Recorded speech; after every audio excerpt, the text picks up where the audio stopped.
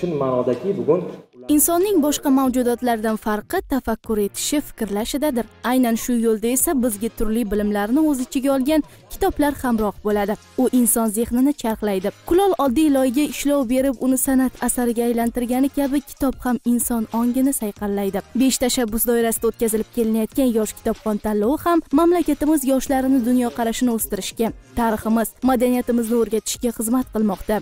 Yosh bilimdonlarimiz kitob o'qigani sayin inson uchun undanda yaxshiroq do'st yo'q ekaniga amin bo'lishmoqda. Buni tanlovda qatnashayotgan ishtirokchilarning so'zlaridan ham anglash qiyin emas. Abduqayum yo'ldoshevning puankari hikoyasida qayd etilishicha grigoriy perelman qancha miqdordagi mukofot pulidan voz kechgan? Nima? To'g'ri. Mixail bulgakovning it yurak asarida qayd etilishicha sharikka a'zolari ko'chirib o'tkazilgan chugunkin necha yoshda edi? Necha to'g'ri. Yosh kitobxon tanlovining toshkent viloyati bosqichiga start berildi. Nurafshon shahrida joylashgan yoshlar markazida uchta yosh toifasidagi yigit qizlar o'z bilimlarini sinash maqsadida jam bo'lishdi. Bu yerda ham raqobat kuchli. Sababi yigirma ikkita tuman va shahardan kelgan vakillar g'oliblik uchun kurashdilar. Viloyatda ushbu tanlovning shahar tuman bosqichlarida jami ellik bir mingdan ziyod yoshlar qatnashgan edi. Hududiy bosqichda uchta yosh toifasida jami oltmish olti nafar yosh yetib keldi habibulla qodiriyning otam haqida asarda qayd etilishicha qodir bobo necha marta uylangan to'rt marta. To'g'ri.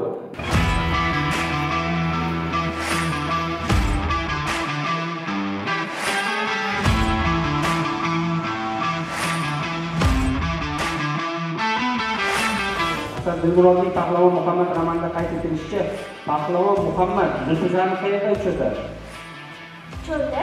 To'g'ri bedorlarga bering dunyoni deyapti. Bu javobni mahmud toir ekanligini topish hech mushkul emas.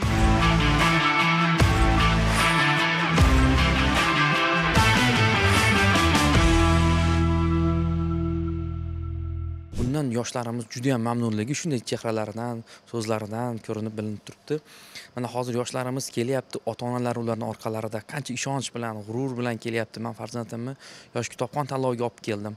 Xudo xohlasa birinchi o'rinni oladi va respublikaga borib avtomobil prezident sovg'asini yutib keladi degan ishonchda umidda kelishyapti yoshlarimiz bu yaratilayotgan sharoitdan man o'ylayman un- unumli foydalanishyapti toshkent viloyatining yosh kitobxonlari respublika bosqichida ham o'zlarini bilimlarini sinovdan o'tkazib yuqori natijalar bilan viloyatiga qaytadi degan umiddamiz qaysi kimyoviy element yunonchadan tarjima qilinganda yemiruvchi degan ma'noni bildiradi? Ftor to'g'ri. Alvido bolalik qissasida kimlar ota onalari haqida yolg'on to'qishardi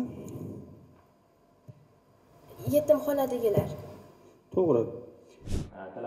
O'n o'n to'rt yosh toifasida yigirma ikki nafar yosh g'oliblik uchun musobaqalashdi. Kitobxonlar musobaqaga kuchli hozirlik ko'rganini berilayotgan savollarga ustalik bilan javob berishlaridan ham anglash mumkin. Yakunda ushbu guruhdan birinchi o'rinni oqqo'rg'on tumanidan shahriyor turg'unboyev ikkinchi o'rinni toshkent tumanidan aziza asadullayeva uchinchi o'rinni bo'ka tumanidan maftuna shodiyeva qo'lga kiritdi bu bitta spark uchun emas edida uyqusiz tunlar mashaqqatli menga ishonch bildirgan qanchadan qancha insonlar bor edi. O'qituvchilarim butun bir oqqo'rg'on tuman menga ishonch bildirgan shuning uchun yaxshilab harakat qilish uchun birinchidan ota onamni uyaltirmasligi uchun tayyorlandim. Bitta spark uchun tayyorlanish kamlik qiladi. Poankari hikoyasidagi bosh obraz oilada nechanchi farzand edi to'g'ri. Mixail bulgakovning ikki yurak asarida qayd etilishicha shark sharikga ishga kirishga kim yordam beradi? To'g'ri. O'zbek adabiyotining yirik namoyandalaridan biri hisoblangan musa toshmuhammad o'g'li qalamiga mansub bolalik xotiralari asari avtobiografik asar hisoblanadi.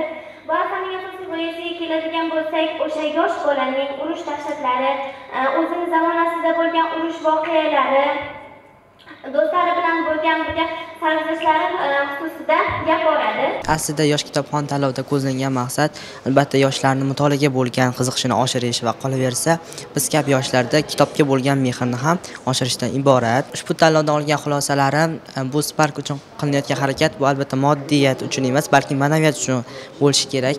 E, albatta kelasi yillarda ham ishtirok etib sovrinli natijalarni qo'lga kiritishga harakat qilaman.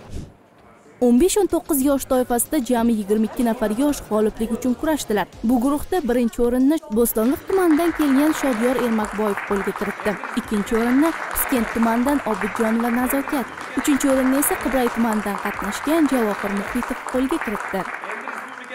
O'zbekiston respublikasiga sadoqat bilan xizmat qiladi.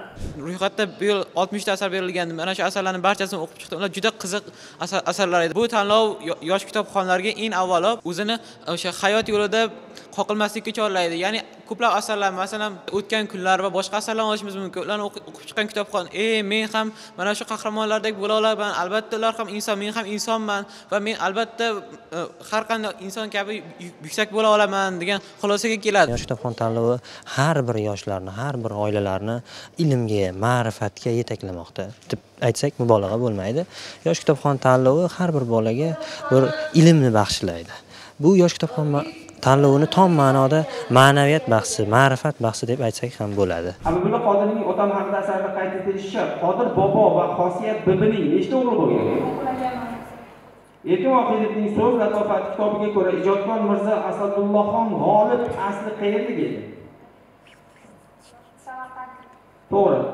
Bizda oltmishta kitobning ro'yxati berilgan aynan shu oltmishta kitob ichida meni juda ta'sirlantirgan asarlar ham bo'ldi. Aynan yosh kitobxon tanlovi yoshlarni e, kitobxonlikka targ'ib qilish e, borasida juda yam ko'plab ishlar amalga oshirilmoqda. E, va men ham kitobxon bo'lib qoldim desam adashmagan bo'laman. Aynan kitoblarni o'qib biz o'zimizga olam ma'nolarni olishimiz mumkin va bizning kelajakdagi hayotimizda juda ham ko'p foyda berishiga ishonchim komil. Eng katta guruh bo'lgan yigirma o'ttiz yosh toifasida bahslar qizg'in kechdi. Ularning ishtiyoqi sabab tanlovning murosasizligi yanada oshdi. Natijalarga ko'ra birinchi o'rin parkent tumanidan kelgan ishtirokchi baxtiyor qo'ziyevga nasib etdi. Ikkinchi o'rin chirchiq shahridan yulduz javliyevaga uchinchi o'rin esa yangiyo'l shahridan madinabonu umarovaga nasib qildi. Ushbu tanlovda yillar davomida qatnashib kelib bugun shu toshkent viloyati bosqichida o'z yosh toifamda yigirma o'ttiz yoshlilar orasida demak birinchi o'rin menga nasib etdi. Bunga yillar davomida tayyorgarlik ko'rish hozirgi e, zamonaviy adabiyot tarixiy adabiyot o'zbek va jahon milliy adabiyoti namoyandalarining kitoblarini o'qish natijasida erishdim. Yosh kitobxon tanlovi men va ming tengi yoshlarga nima beradi? Birinchi navbatda e, o'zimizning e, ma'naviy barkamollikka erishishimizga undan tashqari prezidentimiz ta'kidlaganidek e, haqiqiy vatan uchun yonib yashaydigan farzandlarni shakllantirishda ushbu tanlovning o'ziga xos o'rni bor. Men ham xudo xohlasa toshkent viloyati sharafini respublikada himoya qilib munosib o'rinni egallab qaytmoqchiman. Viloyat bosqichida qatnashgan ishtirokchilarga sertifikat va mutolaasevarlar uchun eng yaxshi sovg'a bo'lgan kitoblar jamlanmasi sovg'a qilindi. Uchinchi o'rin egalariga diplom va zamonaviy planshet ikkinchi o'rin egalariga diplom va zamonaviy noutbuk sovg'a qilindi. G'olib bo'lganlar esa respublika bosqichi yo'llanmasini qo'lga kiritib prezident sovg'asi spark avtomashinasi uchun yana bir muhim qadamni tashlashdi. Yoshlar ishlari agentligi tomonidan o'tkazib beshta shaxs doirasida o'tkazib olayotgan yosh kitobxon ko'rik tanlovi o'tkazilishidan maqsad bugun tobora o'sha murakkablashib borayotgan globallashib borayotgan qadriyatlar milliy mentalitet yoki boshqa bir ma'naviy hodisalar bir unutilib borayotgan paytda mana shu yoshlarni milliy ma'naviyati bilan tanishtirish milliy madaniyati bilan milliy mafkurasi bilan tanishtirish ularga o'zligini anglatish borasida juda katta vazifalarni bajaradi. Kitob u insonni nafaqat o'zini o'ziga tanitadi balki o'sha millatni xalqni insonni tanishtiradigan bir vositalardan bittasi. Shu ma'noda kitob o'qiyotgan inson bu jamiyat bilan birga jamiyatdan oldinroqda fikrlayotgan inson bu ertaga kelajakni yaratadigan inson. Tomas maynerlikning boshqa chavandoz romanda qayd etilishicha genri luizaning kim edi? Ukasi noto'g'ri yetti huzur halovat va qirq qayg'u alam romani muallifi yetti huzur halovat va qirq qayg'u alam yoshlik jurnali ikki ming yigirma ikkinchi yil temur po'lat. Temur po'lat. To'g'ri yosh kitobxon tanlovida qatnashgan ishtirokchilar bilan suhbatlashar ekanmiz. Ularning fikrlashi dunyoqarashi ancha teran ekanligiga qayta qayta amin bo'ldik. O'z farzandlarini javondagi xazinalar bilan oshno qilayotgan ota onalar esa ularning mevasini albatta ko'radilar. Kitoblarda jam bo'lgan turli bilimlarni egallayotgan va tafakkur qilayotgan avlod bundan to'g'ri va foydali xulosa chiqara oladi. Natijasi esa yillar o'tgani sayin o'z mevasini beradi. Bizning ijodiy guruhimiz esa hududlar bo'ylab tafsilotlarni yetkazishda davom etadi.